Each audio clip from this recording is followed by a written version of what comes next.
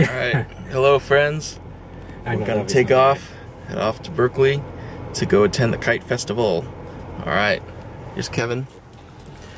All right, yeah, I'm looking forward to it. I'm looking forward to the Kite Festival. It's gonna be fun. It's gonna be relaxing and free. There's Rachel. Hi.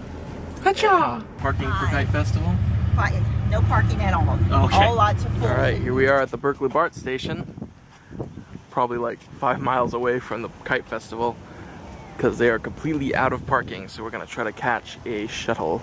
Alright, here we are living the life of a kid trapped in the Berkeley Unified School District. Hopping on our shuttles, heading towards the Kite Fest. I rode a bus for a good portion of my life.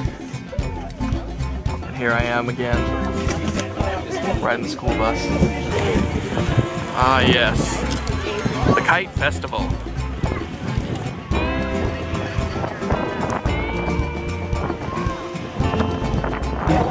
Already determined that I'm going to impulse buy an ice kite today.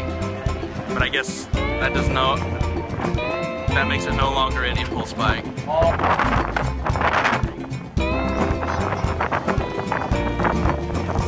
Way back up there. Way up the hill. Oh, that's fine. Finish line is being stretched out.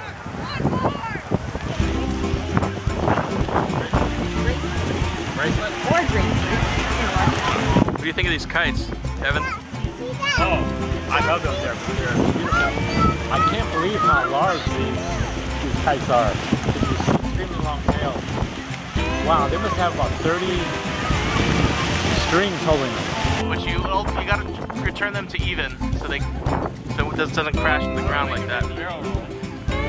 You pull one direction and you hold it. But that's how I crashed the other one. Oh yeah.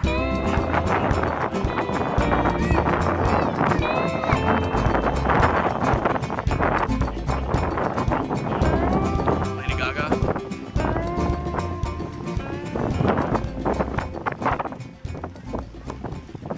You're taking it personal. You're taking they don't have to go to the It's back. just about us standing in the line.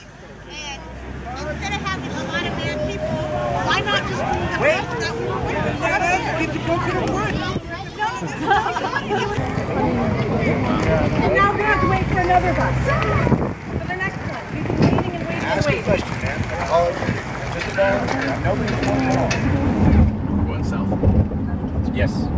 Some. Whew. So after a long day at the Kite Festival, stopping in for some of the best falafels we've ever had here at Falafel's Drive-In in San Jose. So here is our falafel drive-in meal. A delicious falafel inside.